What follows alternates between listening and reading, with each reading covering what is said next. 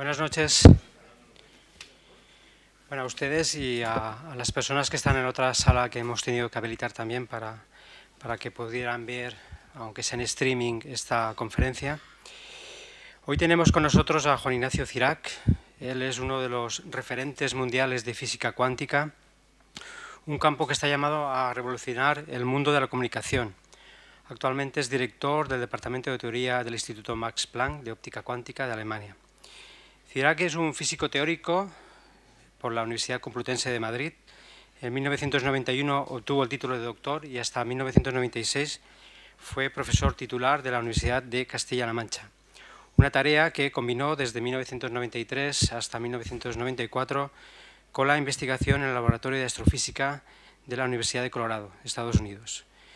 Después de una estancia de cuatro años en la Universidad de Innsbruck, Austria, en 2001 entró a dirigir el Instituto Max Planck de Óptica Cuántica. La principal aportación del profesor Cirac y por la cual ha recibido numerosos reconocimientos es el concepto de ordenador cuántico, una herramienta que aprovecha el comportamiento cuántico de las partículas para transmitir información. Con este nuevo sistema se podrán construir, según prevé Cirac, pues ordenadores extraordinariamente potentes, capaces de cálculos hasta ahora inimaginables y que hoy están fuera del alcance de los científicos entre otras aplicaciones, se pueden hacer cálculos sobre el clima o incluso diseñar moléculas y fármacos con una potencia que superará de largo a los superordenadores actuales. A través de las leyes de la física cuántica que CIRAC estudia, se podrá enviar información de manera segura y eficiente, una nueva manera de transportar la información que cambiará nuestra vida. Además, CIRAC participa en numerosos proyectos internacionales en diversos centros de investigación y universidades de todo el mundo. A pesar de su juventud, pues Juan Ignacio Cirac ya ha obtenido numerosos reconocimientos internacionales. Ha recibido galardones como el Félix de la Academia Austriaca de Ciencias en 2001, el Premio de la Sociedad Americana de Física en el 2002, Premio de Electrónica Cuántica de la Fundación Europea de la Ciencia en 2005, la medalla Benjamin Franklin en el 2010, sin olvidar el premio Príncipe de Asturias de Investigación Científica y Técnica que le fue otorgado en el 2006. Además, en el año 2005 también fue, se le concedió el título de doctor honoris causa por la Universidad de Castilla-La Mancha y en el 2007 por la Universidad Politécnica de Cataluña. La verdad es que es una suerte tener a Juan Ignacio y yo bueno, quería agradecerle públicamente pues, que haya querido venir a nuestra universidad bueno, y a nuestro campus y a nuestra Semana de la Ciencia y por eso, bueno, pues eh, públicamente le agradezco que esté con nosotros. Muchas gracias, cuando quieras. Hola, pues buenas noches. En primer lugar, me gustaría agradecer a los organizadores de la Semana de la Ciencia por haberme invitado a, a dar una conferencia sobre el tema en el que investigo y en el que están investigando en muchos laboratorios del mundo. Es un tema un poco raro ¿no? para el que no haya oído hablar de la física cuántica y espero pues, que con, según vaya explicando pues, pues vayáis entendiendo un poco pues, cuál es la motivación, qué es, por, lo que, por qué hacemos esta investigación, qué es lo que esperamos tener, en qué se basa toda esta investigación. Y el título bueno, ya, ya anuncia un poco que va a ser algo extraño, ¿no? habla de gatos, de ordenadores.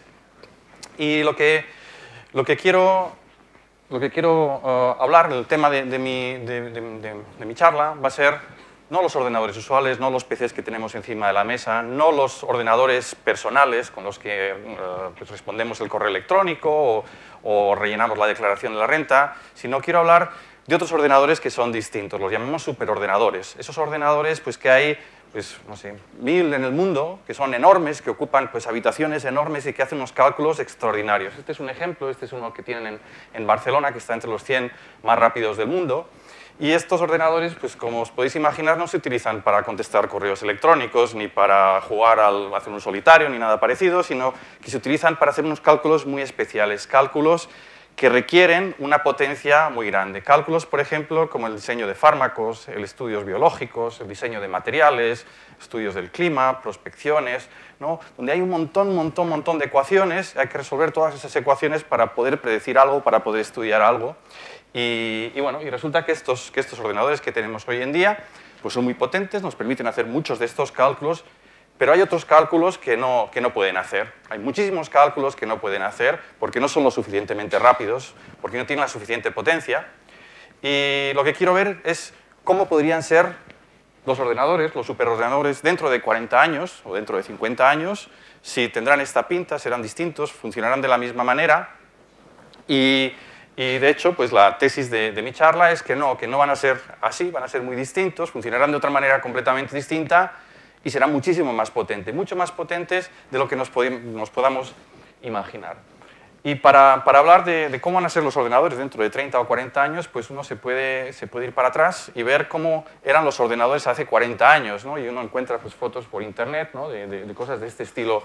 No tenían absolutamente nada que ver con lo que tenemos hoy en día. Los principios básicos por los que funcionaba, sí, es decir, toda la información que se introducía en estos ordenadores se hacía en términos, en términos eh, binarios, con ceros y unos, se procesaban pues, siguiendo unas leyes de puertas lógicas, con puertas AND, puertas OR, etcétera, etcétera. Pero físicamente, cómo estaban hechos son muy distintos a los que tenemos hoy en día. De hecho, estos ordenadores que había en los años 40 y 50 pues eran muchísimos más lentos que los, teléfonos móviles que tenemos hoy en día. ¿Y por qué, por qué es eso? ¿Por qué han evolucionado tanto los ordenadores en 40 o 50 años? Uno, pues por varias razones. Una de ellas es el, descubrimiento de los transistores. ¿no? Estos ordenadores antiguos funcionaban con lo que llamamos válvulas. ¿no? Hay que convencer a estos bits donde ponemos la información, pues que de cero, si entra un 0 y un 1, pues que salga un 1, ¿no? las puertas lógicas que luego eh, transforman esa información. Y entonces eso se hacía pues, en términos de unos equipos físicos que eran con unas pequeñas bombillitas y eran muy grandes y por eso pues, se calentaba mucho y mm, pues, pues tenían ciertos problemas. Con el tiempo se inventaron, se descubrieron los transistores que eran muchísimo más pequeños y ya no eran bombillas ni nada, eran sistemas electrónicos en los cuales pues, también entra corriente por un sitio, sale por otro sitio y ahí se producen las operaciones que se tienen que hacer. Así, vale. Entonces, eso fue el, eso fue el, primer, el, primer, el primer descubrimiento, ¿no? que cambió la tecnología, se descubrió una nueva tecnología y eso nos permitió pues, empezar a hacer las cosas de una manera mucho más eficiente. Luego esa tecnología de transistores se fue desarrollando, se fueron ah, consiguiendo transistores más y más y más pequeños, con lo cual podían poner muchos más transistores, muchas más unidades de cálculo en menos espacio, y eso, eso hizo, pues, por un lado, dar más capacidad de, almacenamiento de datos. Hoy en día pues, nuestros ordenadores pues, pueden almacenar y procesar un montón de datos, incluso los, los personales. Y por otro lado, pues, también cambiaron la, la, rapidez, hicieron que estos ordenadores fuesen más rápidos. De hecho, existe algo llamado la ley de Moore, que es una, una ley experimental, ¿no? en la cual uno comprueba que desde los años 70 hasta hoy en día, pues la, la potencia de los ordenadores, la capacidad de cálculo, número de operaciones que pueden realizar pues, ha ido multiplicándose por dos cada 18 meses. Y esto está relacionado con lo que había dicho antes. ¿no? Uno puede decir, ¿por qué hacer los, los, eh, transistores más pequeños hace que el ordenador vaya más rápido? Bueno, porque al fin y al cabo lo que ocurre en estas operaciones son, operaciones que tienen lugar con, corriente eléctrica. Esta corriente eléctrica se tiene que mover de un sitio a otro y si hacemos pues, los transistores más pequeños, pues se tienen que mover menos y por lo tanto son más rápidos. ¿no? Y eso, pues el hecho de que podamos hacer las cosas, los transistores más pequeños, pues llevan consigo automáticamente un aumento de la velocidad de los ordenadores. Y, bueno, y una pregunta que se puede hacer es esta, esta ley de Moore, ¿no? que va cambiando, es una ley exponencial ¿no? de, de, la capacidad, o del, habla del número de transistores que hay dentro de un ordenador, ¿no? pero la potencia de un ordenador, pues ¿qué, ¿qué, es lo que pasará si seguimos avanzando, si seguimos haciendo esos transistores más y más y más, más pequeños? Bueno, pues en algún momento llegaremos a, un tamaño en el cual los transistores no pueden existir, ¿no? porque los transistores están compuestos pues, de muchas partículas, de muchos átomos, ¿no? y por eso se comportan como son, así, pero cuando llegamos haciendo, los vayamos haciendo más y más pequeños, pues llegaremos el momento en el que tendríamos que tener un transistor en un solo átomo, y ahí nos encontraremos con un problema. De hecho, la primera persona que se dio cuenta de que esto tenía que ocurrir y que más que un problema, más que un obstáculo, podía ser una solución, fue Richard Feynman. Richard Feynman es un físico muy famoso, obtuvo el premio Nobel de física por el descubrimiento de la electrodinámica cuántica, ¿no? la, física cuántica de la luz y de la, materia. Y el señor eh, Feynman es muy conocido por, hizo muchas cosas importantes, pero sobre todo es muy conocido para el público en general por una conferencia que dio en el año 1959 en, en Caltech, en un Congreso Anual de la Sociedad Americana de Física, que se llama hay un montón de sitio al fondo. Y lo que habla, si uno se lee esa conferencia que está escrita, pues habla de que si podemos conseguir dominar el mundo de lo más pequeño, pues eso nos dará nuevas oportunidades. Y se pasa pues todo el artículo hablando básicamente de lo que hoy diríamos que es la nanotecnología, que si llegamos a poder pues, em, pues dominar ese mundo microscópico, pues podremos almacenar mucha más información en, menos sitio, la podemos procesar más rápidamente, todo lo que estaba hablando ya lo veía en los años, en los años 60, pero al final de la conferencia dio un paso más y dijo, bueno, ¿y qué pasa después de la nanotecnología? ¿Qué pasa si podemos llegar ya ahora y no solo crear estos transistores, estos sistemas tan pequeños, sino que vamos al tamaño del átomo? Y dijo, bueno, pues ahí nos encontraremos que las leyes físicas, las leyes que gobiernan el movimiento de las partículas y las propiedades de las partículas no son las que conocemos, son otras distintas. Ahí empieza a actuar la física cuántica y la física cuántica tiene propiedades extraordinarias. Y esas propiedades extraordinarias probablemente las podamos utilizar y a lo mejor hacer algo que no podríamos hacer con las leyes que tenemos hoy en día. Eso está escrito en el año 1959 y de hecho hoy en día pues hemos llegado a atravesar esa frontera al crear, pues, al intentar dominar el mundo microscópico, pues ya llegamos a manejar átomos, como explicaré más adelante, a ver un solo átomo, a manipularlos, y ahí nos encontramos con fenómenos completamente extraordinarios, fenómenos que cuando uno los observa pues no se lo cree, ¿no? porque no hay nada que se parezca en nuestro mundo a lo que vemos ahí. Por ejemplo, puede pasar que una partícula desaparezca de un sitio y aparezca por otro, y con una pared por en medio. Se comporta casi como un fantasma. Un átomo, un electrón, pues es lo que se llama el efecto túnel, pues puede pasar por una barrera de potencial, por una pared, ¿no? desapareciendo de un sitio y apareciendo, y apareciendo por otro. O una, una partícula como diré más adelante, explicaré más adelante, pues puede hacer dos cosas a la vez. Puede estar haciendo, por un lado, estar en un sitio y por otro lado, estar en otro sitio. Ya explicaré esto con un poco más de detalle. Eso no quiere decir que me vayáis a entender, pero bueno, ya lo explicaré. Y, por otro lado, pues también en ese mundo microscópico existen eh, procesos completamente aleatorios. Cuando uno dice que algo es aleatorio, es normalmente porque piensa que no tiene la suficiente información como para poder predecirlo. Cuando tengo, tiro una moneda, digo cara o cruz y me sale cara, digo, ah, pues es, un, es algo aleatorio. Bueno, eso no es aleatorio. ¿no? Si yo conozco pues con qué fuerza estoy moviendo la moneda, conozco todo el, aire que hay alrededor, conozco todas las propiedades, pues tiene un movimiento determinista y hará de una forma determinada. De hecho, la física que nosotros conocemos en el tamaño en el que vivimos es toda determinista. No existe nada aleatorio, nos falta conocimiento, por eso nos parece aleatorio. Bueno, pues la física cuántica dice que hay procesos que son estrictamente aleatorios. Ya, veré, ya iré más adelante a eso, pero viene a decir que ocurren cosas sin que sea por falta, de conocimiento, sino simplemente que es aleatoria en sí mismo. Como digo, lo diré más adelante. Por supuesto, estas, propiedades, estos fenómenos que ocurren en ese mundo microscópico, que somos, capaces de, llevarlas al mundo microscópico, si las extrapolamos al mundo macroscópico y esas cosas que pasan en el mundo microscópico, pues pasasen en el mundo macroscópico, pues nos parecerían rarísimas, ¿no? Pues podría ocurrir, pues eso, que gente pasa paredes, cosas que no ocurren, o que pues un gato bueno, podría estar vivo y muerto a la vez, porque podría hacer dos cosas a la vez, estar vivo y muerto, o podría ser que, por ejemplo, al jugar en, un casino, imaginad que jugamos eh, un casino, tiramos los dados aquí y en, Nueva York, y tiramos aquí y sale un número aleatorio, el 6, y en Nueva York sale también el 6. Y volvemos a tirar y sale aquí un número aleatorio, pero exactamente el mismo en Nueva York. Es decir, que puede haber procesos aleatorios, pero completamente correlacionados, sin que haya ninguna comunicación entre estos dos sitios. Es decir, que dos personas tiran dados resulta que sale un número completamente aleatorio, como he dicho antes, completamente aleatorio, en principio aleatorio, pero que fuese el mismo tirando a la vez en dos sitios sin que se, comuniquen. Bueno, esto no estamos acostumbrados a verlos, ¿no? entendemos ya muy bien, y hablaré también un poco de eso, que en el mundo microscópico sí que ocurren este tipo de cosas, pero si las extrapolamos al mundo macroscópico, pues llegamos a, paradojas pues, o, a, comportamientos que nos parecen eh, mm, extraordinarios, raros, más bien sacados de una película de, ciencia ficción. Bueno, para, entonces, para lo que quería decir es que bueno, pues el, objetivo es decir que cuando atravesamos esta barrera en la cual estos fenómenos aparecen, pues eso nos da nuevas oportunidades. Tenemos nuevas leyes en nuestra mano y con esas leyes podemos hacer cosas nuevas. Podemos hacer pues, que ahora esos átomos o esas partículas pues, hagan cosas a la vez y, mm, experimenten estos fenómenos. Y la idea de un ordenador cuántico, como explicaré, es utilizar estos fenómenos extraordinarios para procesar la información de una manera extraordinaria, de una manera completamente distinta a la que lo hacen los ordenadores hoy en día. Y esto es lo que es un ordenador cuántico y eso es lo que, lo que quiero explicar.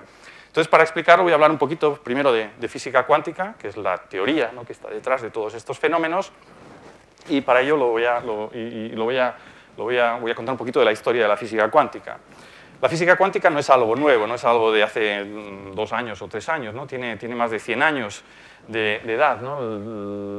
al que se considera la persona que introdujo los primeros conceptos de física cuántica fue Max Planck, un físico alemán, y por aquel entonces él hizo una hipótesis y, esa hipótesis es la que dio lugar a la física cuántica. Y esa hipótesis venía a decir que la luz que nos llega, la luz que llega de, ese foco de ahí, está formado por pequeñas particulitas como canicas y, eso eh, lo hizo para poder explicar una serie de experimentos. A finales del siglo XIX, principios del XX, la gente conocía muy bien las leyes de la mecánica, cómo se mueven los objetos, predecir qué pasa si tiro esto arriba, dónde va a caer, dónde, dónde, cómo, cómo, se mueven los planetas, todo eso se conocía muy bien, las leyes de la mecánica. Se conocía muy bien también las leyes de la electricidad y del magnetismo, pues porque dos imanes se juntan, se atraen o se atraen, la electricidad cómo puede pasar por cables, cómo la electricidad puede generar campos magnéticos, puede atraer imanes, todo eso se conocía muy bien, las leyes de Maxwell lo eh, explicaban perfectamente. Se conocía también muy bien la termodinámica, ¿no? qué pasa cuando calientas un objeto, si aumenta la temperatura, cuánto aumenta, todo eso, y se pensaba un poco pues, que ya estaban las leyes de la física, ya eran todas las leyes conocidas, y se había acabado la física, ahora era momento pues, de utilizarlas. Sin embargo, había una serie de experimentos que no se podían explicar. Y uno de ellos era el, color que adquieren los objetos al calentarlos. ¿no? Si uno coge un hierro y lo calienta, pues ve que se pone al rojo vivo, ¿no? se pone rojo, se calienta y se pone de color, sale luz de color rojo. Y si lo calienta todavía más, pues sale de color azul. Entonces, uno cogía las teorías que se conocían por entonces y eh, intentaba describir esto y veía que no salía, que no tenía que salir rojo, que no tenía que salir azul. Y para poder explicar este experimento dijo el señor Planck, bueno, es que tiene que pasar, o lo puedo explicar, siempre y cuando la luz estuviese formada de pequeñas canicas, que hoy en día llamamos fotones. Y eso fue un cambio, tiene frases como dijo, el hacer esto fue un acto de desesperación y para él fue un acto de desesperación porque se habían pasado los últimos 200 años para convencerse de que la luz estaba formado por ondas electromagnéticas, que la luz eran como las olas del mar prácticamente. Así que tuvo que llegar él y decir, no, no, todo lo que hemos estado diciendo no puede ser. Si queremos explicar estos experimentos, tienen que ser formada, estar formada por partículas. Bueno, a partir de entonces, otros experimentos que la gente no sabía explicar los fueron explicando con esta misma hipótesis. Pues Einstein, Compton, pues una serie de, físicos de aquella época dijo, pues anda, pues no entendíamos qué es lo que pasa en este experimento. Ah, pues si la luz estuviese formada por partículas, por estos fotones, lo podríamos explicar. Y se fueron explicando más y más experimentos otra cosa que se logró explicar, que no se entendía, es la, composición de los átomos. ¿no? Se pensaba que los átomos, ya por los años 10 o así, que estaban formados por un núcleo que está cargado positivamente y un electrón que da vueltas alrededor, como los planetas dan vueltas alrededor del Sol. Sin embargo, si uno utiliza las leyes de la electricidad, sabe que si tienes un objeto que gira, un objeto cargado que gira, tiene que emitir luz. Y si emite luz, pierde energía. Y si pierde energía, se tiene que caer en el centro. Y si uno hace el cálculo con las leyes que teníamos por aquel entonces, resulta que el, electrón podría durar pues, un milisegundo.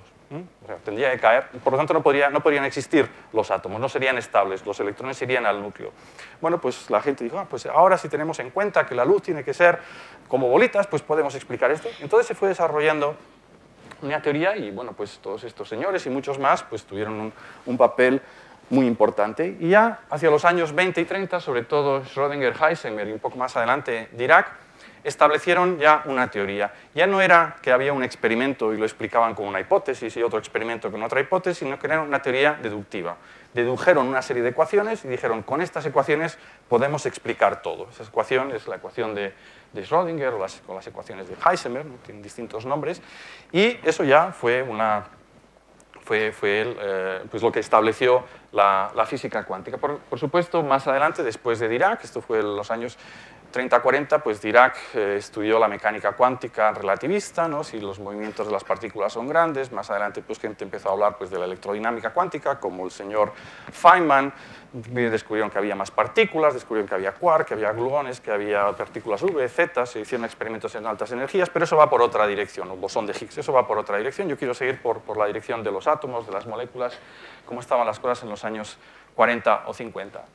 Y de hecho, esa teoría tuvo mucho éxito, tuvo muchísimo éxito porque hoy en día sabemos explicar con esa teoría pues, la composición de la materia, sabemos que nosotros, o las mesas, los gases, todo, que están hechos de, moléculas, esas moléculas están formadas por átomos, esos átomos están formados por núcleos y electrones, esos núcleos están formados por protones y neutrones, los protones y neutrones están formados por quarks y entre ellos interaccionan de una forma y de momento no, exista, no existe ningún experimento que contradiga esas leyes, esas fórmulas que dedujeron los años 20 y 30 todos estos señores.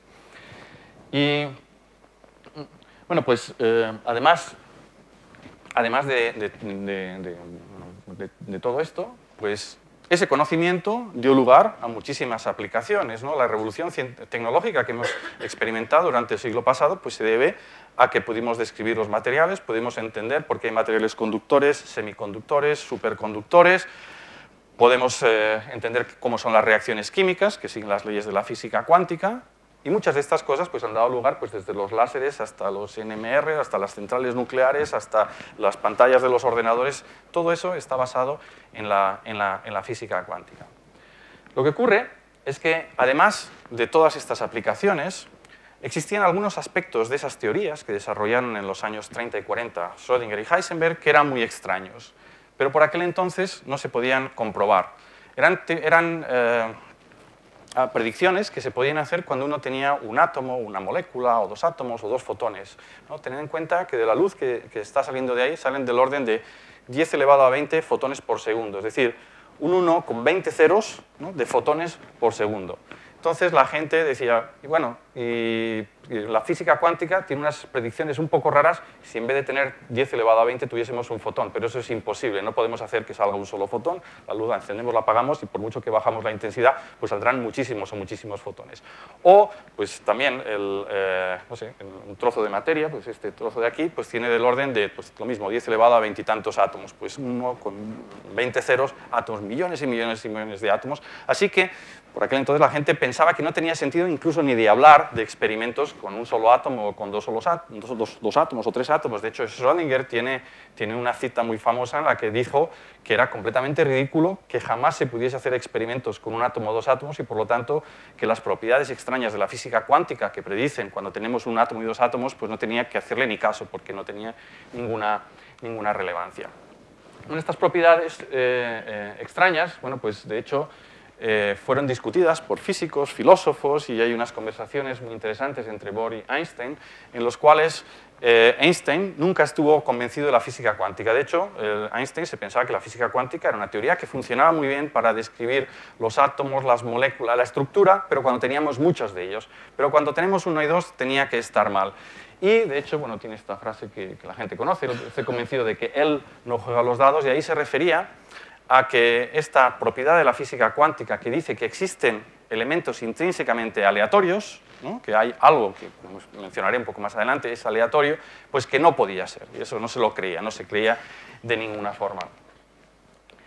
Bueno, sin embargo, bueno, ¿y, cuáles, son, cuáles son algunos de estos aspectos extraordinarios? Bueno, pues para, para ponernos un poco en, faena, para poder entender un poco lo que hago, pues tengo que hablar de, un experimento típico que los estudiantes de, de, bachiller y los estudiantes de física, química, y en algunas ingenierías estudian a menudo, que es el experimento que se llama de la, de la, doble rendija. Es un experimento que se puede hacer, es, es, un poco difícil porque hace falta utilizar luz monocromática, luz de un solo color, ¿no? filtrar la luz que sale o bien utilizar un láser o algo que tenga luz de un solo color, pero esto, si no, se puede hacer, se puede hacer en casa prácticamente este experimento. Y consiste en tener una fuente de luz, que aquí está representada por este punto luminoso, hacer eh, dos agujeros, dos rendijas, y poner, de tal forma que la luz pase por esas rendijas, y luego poner una pantalla detrás de las rendijas y observar a dónde llega la luz en la pantalla. Y si uno hace ese experimento, lo que observa es que la luz bueno, aparece en unos sitios y en otros no.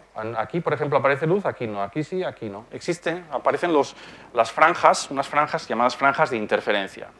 Y de hecho, este experimento es por el cual la gente, antes de Planck, estaba convencida de que la luz estaba formada por ondas, porque es muy fácil explicar este diagrama de interferencia, es decir, que la luz aparezca de esta forma si uno trabaja con ondas. ¿Cómo lo hace? Bueno, pues si nos imaginamos que la luz que está saliendo ahí son como olas del mar, ¿no? como cuando uno mete el dedo en el agua y aparecen olas, pues sabemos que cuando pasan las olas por agujeros se producen olas secundarias, es decir, estos son fuentes de olas ah, a su vez. Por lo tanto, cuando miramos en, la pantalla nos vienen olas que vienen desde la primera rendija y desde la segunda rendija y pueden ocurrir, por ejemplo, que venga la cresta de una ola a la vez que la cresta o la ola del otro lado, que coincidan cresta con cresta, por lo tanto ahí llegaría mucha agua y es como si llegara mucha luz. Puede ocurrir que en otro sitio venga el valle de una ola con el valle de otra ola, por lo tanto ahí llega poca agua, pues ahí es como si llega poca luz y hay sitios en los cuales pues llega una cresta con una, con una con un valle y en ese sitio pues llega un poquito menos de luz. Y uno ve pues que en este sitio, pues de aquí llega, si aquí llega cresta, pues aquí llega cresta, luego aquí pues en un sitio llega valle y valle, cresta, cresta, valle, valle, etcétera, etcétera. De esa forma es muy fácil explicar este fenómeno. Y como decía, pues eso la gente pues se pensaba que las, las, la luz estaba formada por ondas, ondas no como las del mar, ondas electromagnéticas, pero que básicamente tenían la, misma propiedad, ¿no? que según llegan, pues eh, si están, llegan como, con la parte más alta, la, cresta y la cresta, pues hay luz y donde llega valle y valle pues no hay luz. Sin embargo, ahora venía Planck y dice que para poder explicar otros experimentos nos tenemos que olvidar de que la luz tiene esta forma, sino que tiene que estar formada por partículas. Y, y ahora, ¿cómo explicamos si tenemos partículas que la luz aparezca solo en ciertos sitios?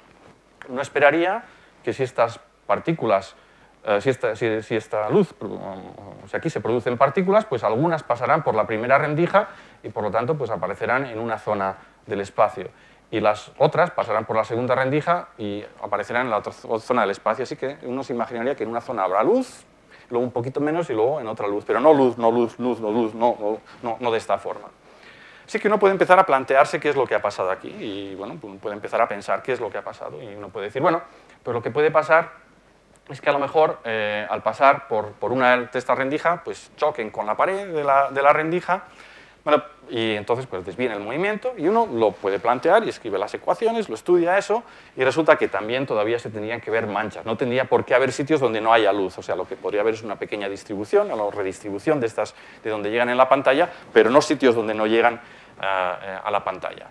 Otro se podía plantear, bueno, lo que pasa es que a lo mejor estas partículas chocan las unas con las otras y se repelen o se atraen y hacen que, pues, que, aparezcan en unos sitios y en otros no. Bueno, pues todos estos experimentos hoy en día se pueden hacer con un solo fotón, es decir, que uno envía un solo fotón y llega a la pantalla. Ahora envía otro segundo fotón y llega a la pantalla y según lo va haciendo pues ve que aparece el primer fotón aparecer aquí, el segundo aquí, el tercero aquí, el cuarto aquí, pero en estas zonas no aparecen nunca. Es decir, que eso se puede descartar porque se puede hacer el experimento de tal forma que solo hay un fotón y por lo tanto no pueden interaccionar entre ellos. Si solo hay uno no pueden, chocar entre ellos. Así que esto queda descartado. Así que uno va eliminando todas las posibilidades de explicación de este experimento y se llega a la conclusión de que si estos son partículas, la única forma de explicar este experimento es que las partículas hayan pasado por los dos agujeros a la vez. ¿Cómo puede ser que hayan pasado por dos agujeros a la vez? Y no se ha desdoblado, ¿eh? son partículas indivisibles, no se han desdoblado. Y esto, para, para entender lo que, incluso lo que estoy diciendo, pues uno tiene que sentarse, estudiar física cuántica, acostumbrarse a eso, y esto no le sorprende, pero para explicarlo a audiencia que no, no, nunca se ha visto confrontado con la física cuántica, uno tiene que hacer un, un, ejercicio pues, de, de, de, no sé, de, mentir, ¿no? Bueno, pero tiene que contarlo de una forma pues, que parezca algo un poco más sensato, de todas formas no parece muy sensato, así que lo que voy a contar ahora, hacemos un pequeño paréntesis, ¿no? y lo contamos aquí, pero no lo contamos fuera porque si no van a pensar que, estoy mal. ¿no? Entonces, bueno, pues eh, seguro, seguro que habéis visto algunas películas de estas en las que, en las que a una persona en distintas secuencias de la película, en el mismo lugar y en el mismo tiempo le están ocurriendo varias cosas. Yo conozco, bueno, hay muchas, pero hay una que, que, a mí me gusta mucho, se llama Lola corre, es una película alemana, en el cual eh, se trata de que un, un courier de, de, la, de, la, mafia, pues el jefe le da 100.000 marcos, una película alemana de los años, finales de los años 90, cuando todavía existía el marco, y le dice, bueno, toma esto y llévaselo al otro jefe. Y a este señor le roban por el camino, le quitan los 100.000 marcos, vuelve a su jefe y le dice, mira, me lo han robado. Y el jefe le dice, tienes una hora para traerme el dinero. Y entonces este se pone muy nervioso, llama por teléfono a su, novia, la tal Lola, y dice, Lola, corre, ¿no? ese es el título de la película, Lola, corre. Y a partir de entonces empiezan a correr, pues lo que pasa es que van a la, el padre de Lola, trabaja de director de una sucursal del banco, entonces se van corriendo a ver al padre, el padre lo recibe, pero el padre no se hablaba con la hija, entonces ellos le dicen, necesitamos este dinero, por favor, dánoslo, el padre se niega, así que entonces saca, uno una, saca el, el, de la mafia la pistola, viene la policía y lo mata. La siguiente secuencia es, dice, llaman por teléfono, Lola, corre. Lo mismo, salen corriendo, van al banco y resulta que ahora el padre dice, sí, pues sí, ahora sí que os doy el dinero y termina de otra forma distinta. La siguiente secuencia, Lola, corre. Entonces están pasando como muchas cosas en paralelo, como si hubiesen universos paralelos donde están pasando cosas a la vez. Bueno, pues este es el símil que quiero utilizar, no en nuestro mundo macroscópico, pero en ese mundo microscópico las partículas, estas partículas microscópicas, estos átomos, estos fotones, estos, su vida se puede desdoblar en dos universos. En uno de ellos pasan por la derecha, en otro pasan por la izquierda, y eh, esto, de hecho, de esa es la forma en la que podemos explicar este tipo de experimentos. Así que uno puede pensar que cuando, cuando, este, cuando la partícula está pasando por ahí en medio, ¿por dónde pasa? ¿Por la izquierda o por la derecha? Bueno, pues ha pasado por los dos, porque se ha desdoblado la vida. En un universo ha pasado por la derecha, en otro por la izquierda, y los dos están existiendo a la vez.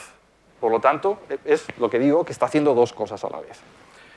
Como, he dicho también, bueno, hay que tener un poco de cuidado ¿no? con estas analogías y no extrapolarlas al, al mundo macroscópico, como haré en, dentro de un momento.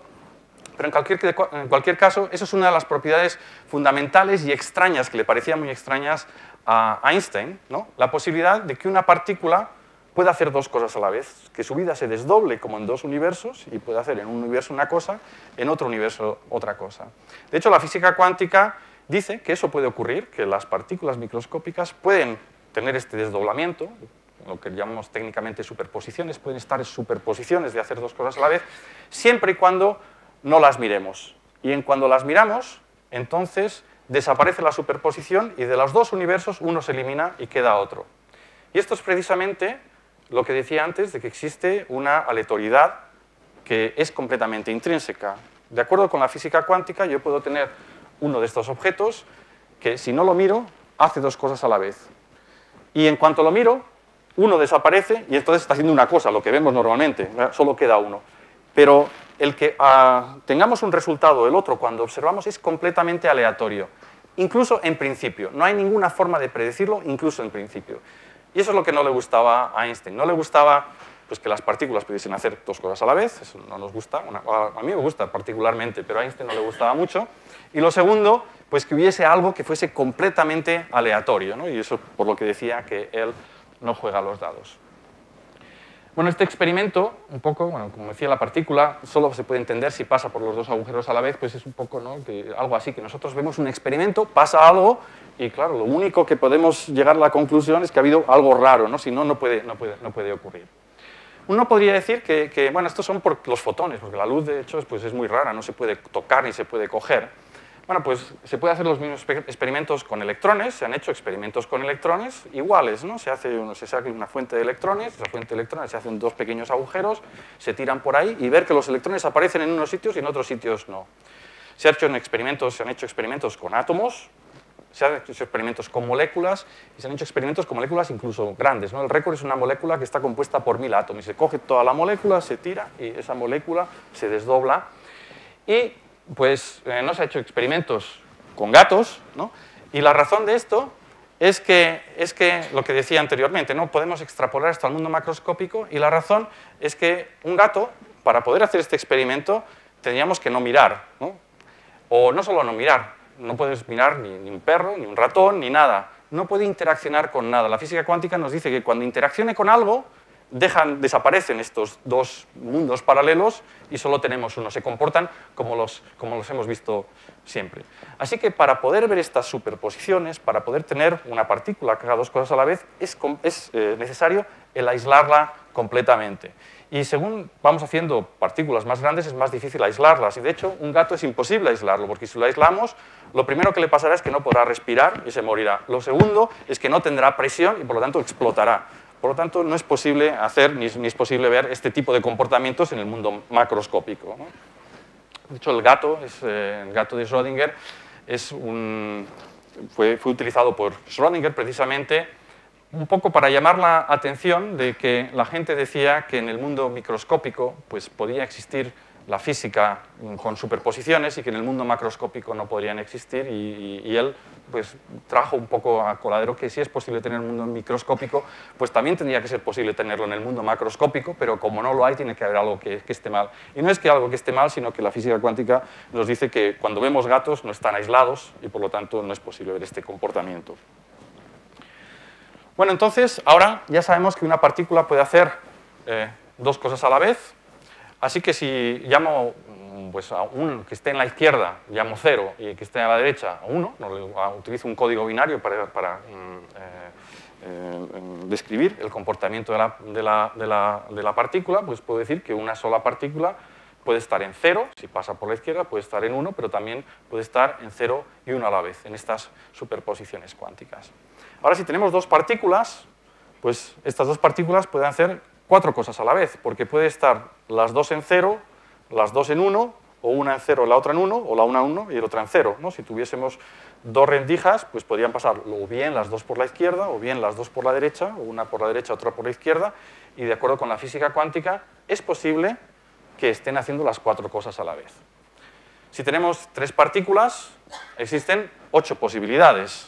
Si tenemos 4, 16. Cada vez que ponemos una partícula, multiplicamos por 2 el número de posibilidades. Así que si tenemos 300 partículas, pues pueden hacer 2 elevado a 300 cosas a la vez. Y 2 elevado a 300 es un número grandísimo. Es lo mismo que 10 elevado a 80, más o menos. Es como un 1 con 80 ceros. Y resulta que 10 elevado a 80 es el número de partículas que hay en el universo, el número de, bariones que hay en el universo está calculado en todo el universo es del orden de 10 elevado a 80.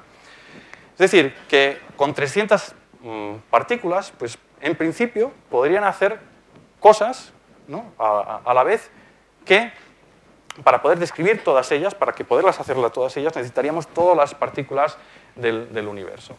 Y en esto se basa el ordenador cuántico. El ordenador cuántico lo que intenta es coger un poco de unas pocas partículas de ese mundo microscópico, explotar las propiedades de que pueden estar en superposiciones, de que pueden hacer cosas a la vez y ponerlas a calcular en paralelo para que hagan muchas cosas a la vez. Entonces, como digo, pues teniendo pues, unas pocas partículas, pues podrán hacer muchos cálculos a la vez y eso es precisamente un ordenador cuántico. Un ordenador cuántico en el cual un ordenador en el cual ahora el procesamiento de información no es simplemente cambiar ceros a unos, sino es cambiar de ceros a superposiciones y, crearlo de tal forma que estén haciendo muchas cosas a la vez.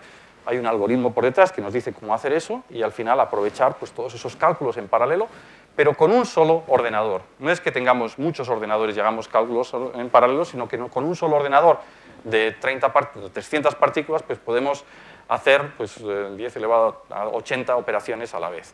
Esa es la idea de los ordenadores cuánticos.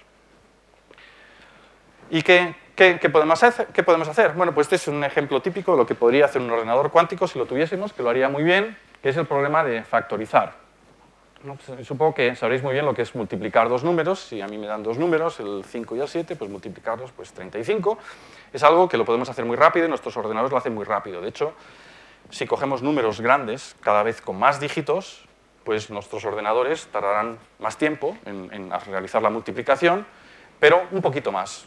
Se dice que el tiempo de ejecución del programa solo depende polinómicamente, débilmente, del tamaño, del número de dígitos de los números que queremos multiplicar. O sea, multiplicar 125 por 128, pues tardará a lo mejor en vez de un milisegundo, dos milisegundos.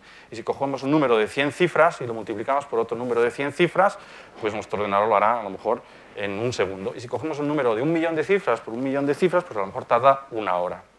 Ese es el problema de la multiplicación. El problema inverso es el de la factorización, es que me den un número y encontrar dos números de tal forma que de multiplicados den el original. Por ejemplo, si os doy 15, pues el problema de factorización es encontrar 3 y 5, porque 3 por 5 es igual a 15. Es el, inverso de la, multiplicación. Si doy 21, pues es 7 y 3, porque 7 por 3 es 21. 121, pues es 11 y 11, porque 11 por 11 es 121. Y ahora si os digo 1387, pues uno tendría que pensar, empezar a pensar, y si os digo 17.429, pues había que empezar a pensar. Y la razón, y, y entonces tardaremos mucho, mucho tiempo. ¿Y por qué tardamos mucho tiempo? Mucho más que multiplicar. Bueno, porque es que hay que empezar a ver si es divisible por 2, pues hay que dividir por 2 y ver si el resto es 0. Y si no es divisible, pues hay que dividir por 3 y ver si el resto es 0. Y si no, dividir por 4 y por 5 y por 6, por 7. Bueno, de hecho, solo hace falta dividir por los números primos, ¿no? porque no es divisible por 2, no es divisible por 4, pero hay muchísimos números primos. Entonces, para resolver un problema hay que hacer muchísimos cálculos, hay que hacer muchas divisiones para ver cuándo es divisible el número. De hecho, el tiempo de ejecución, con los algoritmos mejores que tenemos para los ordenadores usuales, el tiempo de ejecución de un programa de, factorización crece exponencialmente con el número de dígitos del número que queremos factorizar. De hecho, este número tan grande que hay aquí pues es el, récord mundial, bueno, este es del año 2008, pero es el récord mundial, que es un número que tiene 179 dígitos, y factorizarlo, o sea, encontrar estos dos, se tardaron 11 meses con 4.000 ordenadores distribuidos por todo el mundo. Y si alguien les quiere gastar una hora más a estos señores y les pone cinco números más, pues en vez de 11 meses tardarían 10 años. Y si le pones otros 50 dígitos más, pues no lo harían ni en la edad del universo. ¿Por qué este problema? Como digo, la dificultad crece exponencialmente con el número de dígitos. Bueno, sin embargo, si tuviésemos un ordenador cuántico, el, factorizar sería coser y cantar, sería muy, muy sencillo. ¿Por qué? Porque lo que podríamos hacer es que en uno de estos superposiciones, el ordenador intentaría dividir por 2 y ver si es divisible. En otra, dividir por 3, en otra por 4, en otra por 5, en otra por 6, en otra por 7. Se hacen esos cálculos en paralelo, se hacen una sola vez, una sola ejecución, y si al final encontramos la forma de encontrar el resultado, pues tendríamos el resultado y por lo tanto sería más rápido. Otras otros, otros, eh, cosas que se pueden hacer en un ordenador cuántico una manera más eficiente que los ordenadores actuales es la búsqueda en bases de datos. ¿no? Los bases de datos pues, normalmente están ordenadas entonces es muy fácil encontrarlos, ¿no? si no, ya no existen, ¿no? pero en los listines antiguos telefónicos, pues para encontrar el teléfono de una persona es muy fácil, ¿no? porque uno simplemente dice, pues Pérez pues va a la mitad, luego la mitad de la mitad, y así, lo que se llama bisección, pues llega muy rápidamente a encontrar cuál es el teléfono correspondiente a una persona. Pero si el problema es el opuesto, si a uno le dan el número y le preguntan que encuentre la persona, es mucho más complicado, porque entonces hay que ir uno por uno, porque no están ordenados, mirándolos todos. ¿no? Bueno, pues un ordenador cuántico podría hacer esto en paralelo y también pues, hacerlo de manera más rápida. Hay otro tipo de problemas, y aquí nos aparece otra vez el señor Feynman, que en el año 81, antes de que la gente incluso hablase de ordenadores cuánticos, ya se dio cuenta de que si tuviésemos algo que él no llamó ordenador cuántico, pero que es muy similar a lo que tenemos en mente, pues que sería posible eh, entonces resolver no solo estos problemas de factorización, no solo algunos problemas concretos, sino problemas relacionados con los problemas que los superordenadores hoy están eh, resolviendo hoy en día. Se dio cuenta de que para describir un material o describir, describir una reacción química, los ordenadores les cuesta mucho porque estos problemas son problemas que hay que tratar con la física cuántica. Es decir, para describir una reacción química hay que utilizar la física cuántica. Para describir un material a baja temperatura, hay que, con algunos tipos de materiales, hay que utilizar la física cuántica. Y si utilizamos la física cuántica, pues hay que conocer pues, todas esas posibilidades, hay que, para conocer las propiedades de, de uno de estos materiales, pues hay que saber si va a estar en una superposición y como existen tantas posibilidades, pues hay que explorarlas todas y los ordenadores pues tardan un tiempo que crece exponencialmente con, pues, con el, el número de partículas que tengamos. Y el señor Feynman se dio cuenta de que si tuviésemos un ordenador cuántico, pues un ordenador cuántico podría resolver estos problemas de una manera muy eficiente, pues problemas que tardarían o que no se podrían resolver nunca con ordenadores usuales, en diseño de materiales o en, él, habló de, él habló precisamente en, energía, física de altas energías, o problemas del, modelo estándar, modelo estándar que describe pues, las interacciones fundamentales y las partículas fundamentales, el bosón de Higgs, los quarks, todo este tipo de cosas, son unas ecuaciones pero que nadie la sabe resolver. Y no la sabe resolver porque, porque tiene el problema este de la física cuántica, que existen tantas opciones que hay que, mirar que es imposible. Bueno, pues el señor Feynman se dio cuenta que con un ordenador cuántico podríamos resolver este tipo de problemas y también, pues más adelante vemos que problemas en química, problemas en materiales, y esta es otra de las aplicaciones, tal vez la más importante que conozcamos de los, de los ordenadores cuánticos.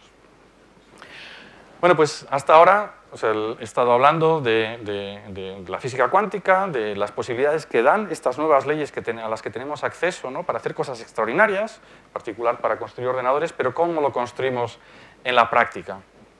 Entonces, bueno, pues hay, hay varias opciones. Bueno, lo primero que tenemos que hacer es que tendremos que coger estas partículas que son capaces de ponerse en superposiciones, es decir, átomos o moléculas, normalmente son, son átomos, las tendremos que aislar completamente y las tenemos que manipular, manipular para convencerlos que hagan los cálculos que queremos. Ahora que poner que hagan dos cosas a la vez, que hagan superposiciones, etcétera, etcétera. Y uno de los campos más avanzados son los, los, eh, el campo de la física atómica, lo de los iones, que voy a explicar un poco. Y bueno, pues eh, los, hoy en día aquello que le parecía imposible a Schrödinger es posible hacerlo desde hace muchos años. En el año 1978, de hecho, se vio por primera vez un solo átomo. Fueron capaces de coger los átomos que hay en el aire, quitarlos todos, quitar estos 10 elevado a 24 átomos, hacer el vacío, aspirarlos todos y quedarse con uno solo, con un, átomo que estaba cargado, le habían quitado un electrón, es un ion, y ese ion, con unos campos eléctricos, se puede, se puede mantener el espacio, se puede, se puede confinar en el espacio. ¿no? Pues los campos eléctricos ejercen unas fuerzas eléctricas, empujan al ion que está cargado y entonces lo que hace es que si se quiere escapar por un lado, le empujan por un lado y si se para otro, le empujan por otro, le empujan todas las direcciones y por eso lo, lo tienes en el espacio. Y fueron capaces pues, de, de, de, de ver un solo ion y verlo directamente. Ahora le enfocan luz ese ion absorbe y emite luz y tú te pones en otro sitio, ves la luz que sale del ion, entonces ves el ion. Necesitas una pequeña lupa, un pequeño microscopio para verlo, pero es la primera vez que se aisló un, ion. Y desde entonces, pues ahora pues, es posible aislar 2, 3, 4, hasta 100.000 iones y se pueden, se pueden almacenar, tenerlos aislados. También es posible eh, hacer lo mismo con átomos neutros, no hace falta que estén cargados. Y la razón de esto es que los, átomos eh, tienen una propiedad que llamamos de spin, y que para el que no lo sepan, quiere decir que se comportan como pequeños imanes. un, átomo, de hecho el, el, electrón del átomo, ese electrón que está alrededor del átomo, tiene no solo propiedades eléctricas, no solo está cargado, sino también se comporta como un pequeño imán. O sea, tiene su polo norte, tiene su polo sur, y entonces lo que uno puede hacer es poner ahora campos magnéticos, confinarlo poniendo unos imanes, de hecho no son imanes, son electroimanes, son campos, campos creados con electricidad, magnéticos, y de tal forma que, este, este, pequeño imán, pues cuando se mueve para un lado, lo empuje, las fuerzas magnéticas hacia un sitio, y cuando se mueve por otro, pues también. Y también es posible pues, almacenar, o sea, eh, eh, entonces uno puede quitar todos los átomos que hay en medio, quedarse con uno, con dos, con tres, con cuatro, con cinco, de hecho, esto de aquí es una fotografía real de dos átomos atrapados con campos magnéticos y esto es una fotografía real de varios iones, estos son muchos más iones, del orden de 10.000 iones, la fotografía del centro. Pero bueno, bueno además de eso, estos átomos y estos iones se están moviendo a velocidades astronómicas. O sea, los átomos que, ahora se están moviendo aquí en el espacio se mueven a, a 1.000 kilómetros por hora. Es se mueven mm, a las velocidades de un avión. Lo que pasa es que no, lo notamos, porque están chocando entre ellos, pero se mueven a una velocidad grandísima. Y claro, si uno tiene uno de estos átomos y se está moviendo a esta, velocidad, pues se, irá, o se, moverá mucho. Entonces lo que hay que hacer, lo segundo que hay que hacer para estos átomos es enfriarlos, pararlos. Enfriar quiere decir bajar la temperatura, y la temperatura no es ni más ni menos que la energía del movimiento, hay que pararlos. Y esto se consigue, y se consigue porque se consigue normalmente con luz, porque la luz empuja ¿Os acordáis que decía que la luz está formada por fotones? Pues estos fotones, que son como pequeñas canicas, pues van chocando y empujan. Entonces uno puede hacer, bueno, de hecho, o sea, ahora esto me está empujando, lo que pasa es que yo soy muy grande y me empuja muy poco, pero si yo tuviese dos átomos y le hago esto, pues saldrían disparados. Y eso es lo que se utiliza. Se puede hacer que estos átomos que se están moviendo, les enfocas luz y si se mueven en esta dirección, pues los empujas en esta dirección y los vas frenando, los vas frenando, los vas frenando y al final se pueden frenar. De hecho, bueno, eh, bueno y, también se pueden manipular. Ahora, eh, estos átomos ya cuando están parados, tienen los electrones dando vueltas alrededor, que tienen este, este, este spin, este, es como un, como un imán, que puede estar con el polo norte mirando para arriba o puede estar con el polo sur mirando para arriba, y de hecho, ahí es donde vamos a almacenar la información. Si, tenemos el imán mirando para arriba, eso va a ser un 0. Si el imán, el polo norte, está mirando para abajo, va a ser un 1. y con un láser podemos pasar de 0 a 1 y crear las superposiciones. Podemos hacer que esté en 0 y 1 a la vez. Se utilizan láseres para todo ello. Estas cosas que he contado, pues cada una de ellas ha merecido un premio Nobel. Un premio Nobel por atrapamiento de átomos, un premio Nobel por enfriamiento de átomos, un premio Nobel por manipulación interna, etc. Estos premios Nobel se dieron hace tiempo, es algo que ya es bastante estándar.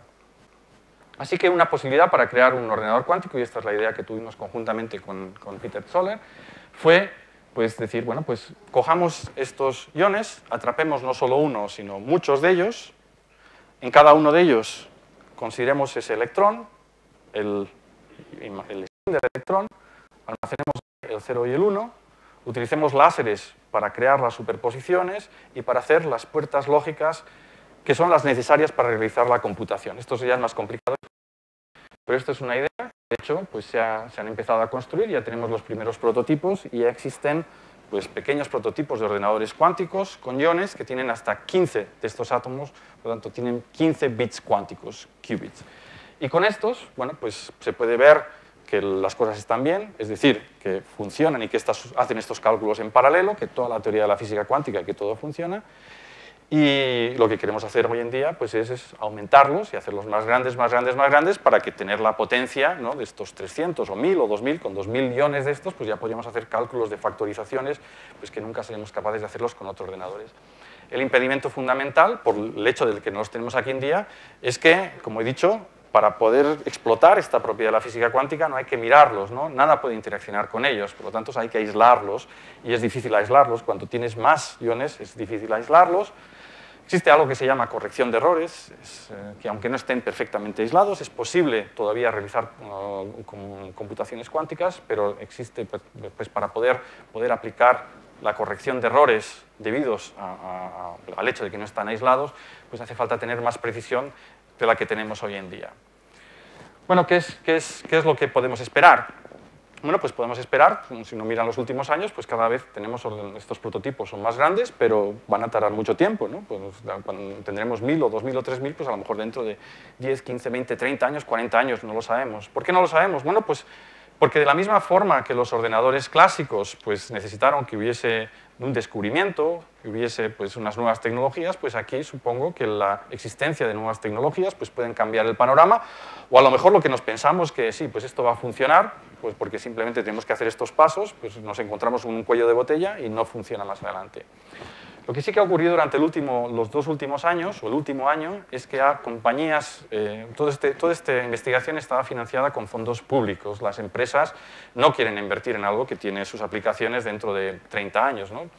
Bueno, pues ya parece ser, por ejemplo, Google anunció hace unos pocos meses que iba a dedicar un billón con B, pero de los americanos, o sea, mil millones de, dólares ¿no? a, un ordenador cuántico. Y IBM también tiene otro proyecto de crear ordenadores cuánticos, entonces parece ser que algunas empresas se lo están tomando en serio y eso probablemente pues, ayude a que las cosas ocurran de manera, de manera más rápida.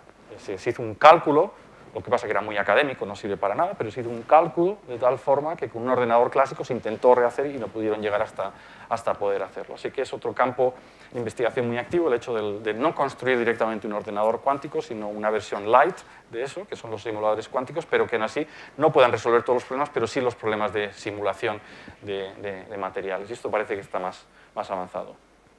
Esto es una fotografía de un experimento típico donde se construyen estos prototipos de ordenadores cuánticos. Pues es una sala pues como esta, unos 50 metros cuadrados, donde tienen varias mesas ópticas llenas de láseres, llenas de equipos electrónicos y, todo eso para coger pues, 15 iones que están aquí en un sitio pequeño del espacio. Lo que es el ordenador cuántico en sí no ocupa nada. Lo que ocupa es lo necesario para hacer el vacío, quitar todos esos átomos de en medio enfriarlos, atraparlos, la electrónica, tiene que ser electrónica, o sea, no es algo que puedas comprar en la calle, ¿no? tienes que desarrollar tu, propia electrónica porque tiene, tiene, que tener mucha más precisión que la que, la que venden comercialmente y todo eso pues, hace pues, que estos experimentos sean extraordinariamente caros y extraordinariamente difíciles. ¿no? Cuando alguien empieza un experimento de estos, los primeros resultados, cuando empieza a ver iones atrapados, pues tardan tres o cuatro años, y cuando los ve enfriados, tarda cinco años. Entonces, pues eso, esos son experimentos que requieren pues mucho, mucho trabajo. Aún así, pues existen yo creo que unos 40 laboratorios por todo el mundo que están construyendo estos ordenadores cuánticos, hay del orden de otros 40 que están construyendo simuladores cuánticos. Se me ha olvidado decir que hay otras tecnologías que han aparecido últimamente basadas en superconductores. Hay muchos laboratorios también en el mundo pues, utilizando superconductores. Sea que existen pues, varias tecnologías que a la vez están intentando construir estos prototipos de ordenadores cuánticos y ya veremos dónde, dónde llegaremos. Entonces, ¿Serán los ordenadores del futuro así? ¿Un laboratorio así de grande? Bueno, pues probablemente no, ¿no? Si nos fijamos cómo eran los ordenadores usuales y cómo son ahora, pues supongo pues, que habrán muchos descubrimientos de por medio que permitan hacer que los ordenadores pues, ocupen menos lugar y sean un poco más manejables que los que tenemos hoy en día. Bueno, ahora voy a cambiar un poquito de tema para finalizar. Voy a hablar de otras aplicaciones de la, de la física cuántica más allá de los ordenadores cuánticos. Resulta que la, física cuántica también tiene algo que decir en el campo de la comunicación de información, no del procesamiento, pero de la comunicación de información y en particular de la información secreta, de lo que se llama criptografía. Como sabéis, eh, pues desde hace muchos siglos pues la gente se quería enviar mensajes secretos y utilizaban distintas técnicas. La, más antigua que se conoce es la que, la que utilizaban pues, los, los griegos, ¿no? pues hace pues, 2.000 años, unos 3.000 años, y lo que hacían es que tenían, los jefes de las tribus, tenían un, un, un, palo cilíndrico con cierto diámetro, de tal forma que dos tribus tenían exactamente el mismo, el mismo palo, con el mismo diámetro. Entonces, cuando un jefe quería enviarle un mensaje secreto a otro, lo que hacía es que cogía el cinturón, lo ataba alrededor del palo, le daba vueltas, y luego escribía el mensaje de manera vertical. Luego lo desenrollaba y ahora las letras parecían desordenadas, ¿no? porque si lo escribes vertical ya no están ordenadas horizontalmente. Entonces eso se le daba al mensajero, el mensajero lo llevaba de un sitio a otro y si alguien lo interceptaba, pues veía una serie de letras pero no sabía qué es lo que, qué es lo que, había. Cuando eso llegaba pues, al, al receptor, pues el receptor, como tenía un palo con el mismo diámetro, volvía a enrollar el cinturón en el palo y ahora leía el mensaje verticalmente. ¿no?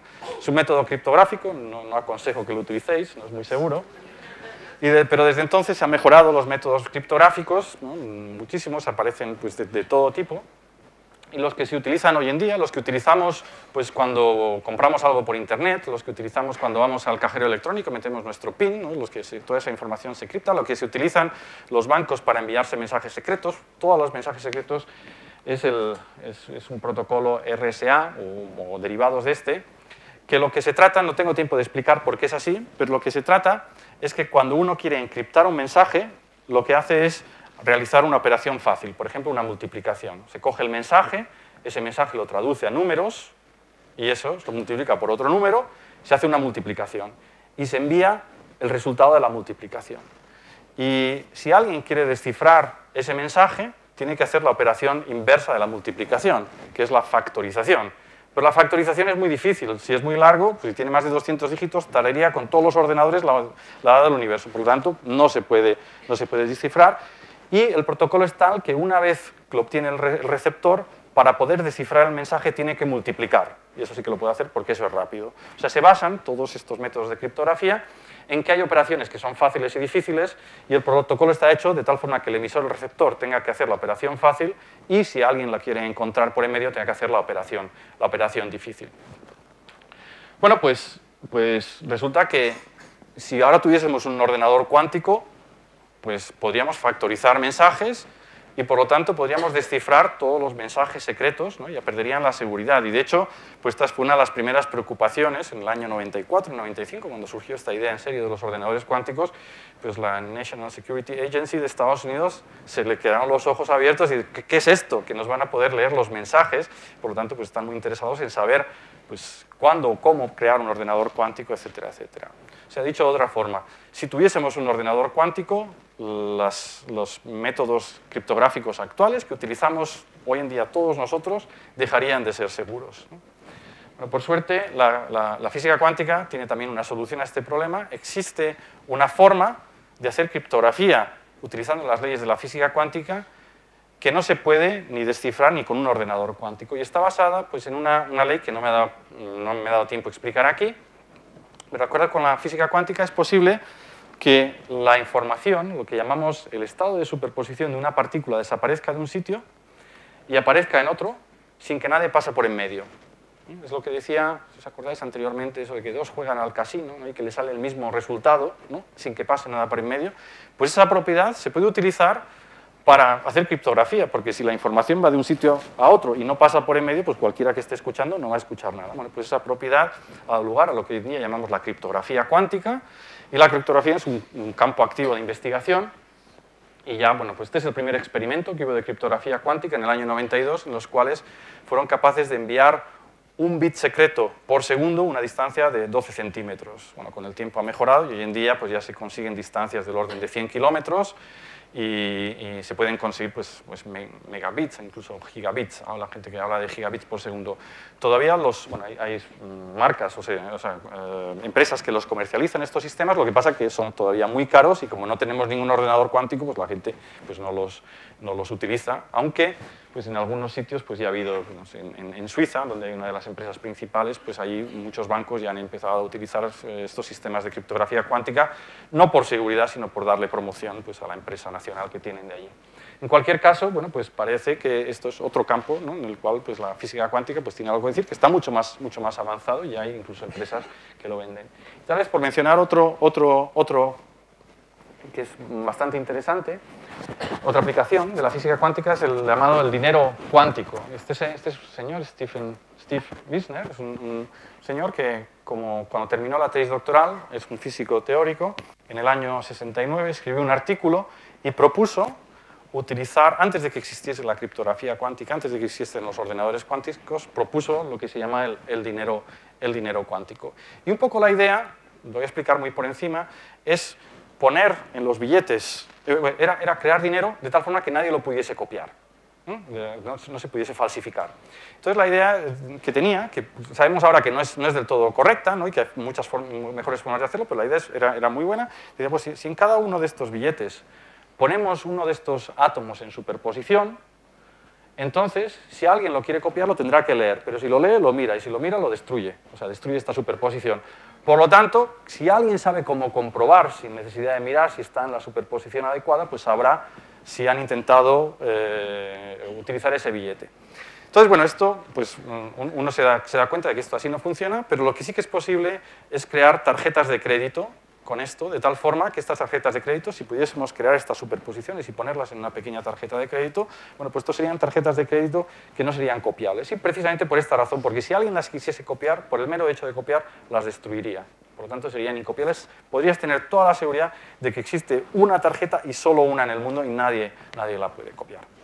Bueno, hay otras aplicaciones pues, también que van en la misma dirección.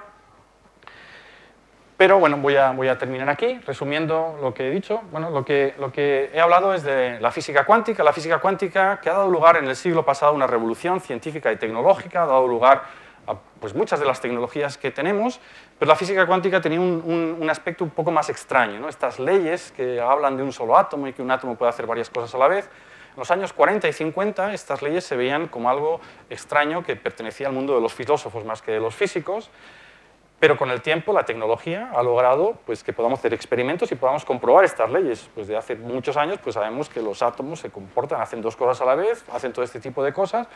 Y una vez que la gente ya se fue asegurando de que las cosas son así, pues el siguiente paso es decir, bueno, pues vamos a utilizarlas. Nos encontramos un poco como lo que ocurrió pues, cuando mm, otra gente, anteriormente en la historia, ha tenido acceso a nuevas leyes. ¿no? Cuando apareció el electromagnetismo, pues la gente no sabía muy bien para qué servía, ¿no? Decía, pues sí, pues tengo aquí, tenían unos pequeños experimentos Faraday en el cual hacía algo en un lado y había pues lo que llamamos ondas electromagnéticas que tenían una repercusión en otro sitio, pero ocurrían a distancias de, de 5 centímetros. A nadie se le ocurría por aquel entonces que eso se podía utilizar hoy para hacer teléfonos móviles, ni para, ni para comunicarnos a distancia, ni, ni para nada, ¿no? Bueno, fue un acceso a una ley y el desarrollo de la tecnología y las ideas pues, de emprendedores, de gente que se mete, pues sacó adelante pues, muchas de las aplicaciones que tenemos hoy en día. Yo creo que nos encontramos, salvando las distancias, pues un poco en esa situación. Hemos pasado una frontera, vamos más allá de la nanotecnología, ¿no? ya podemos dominar el mundo microscópico, tenemos acceso a estas nuevas leyes de la naturaleza y, por lo tanto, podemos hacer cosas nuevas. ¿Qué cosas nuevas? Pues de momento sabemos unas pocas. Sabemos que las podemos utilizar en informática y en comunicación pero yo creo que, lo más, las aplicaciones más importantes no son las que conocemos hoy en día, sino las que conozcan dentro de 20 o 30 o 40 años, pues la gente, pues si o sea, realmente estamos preparados, pues las podrá utilizar para cosas que hoy en día ni se nos ocurren. Así que siempre que me preguntan, eh, pues ¿cuándo tendremos el ordenador cuántico? Pues digo, pues dentro de 30 o 40 años, pero probablemente sea lo menos importante que ocurra. Con esto quería terminar y agradeceros la atención.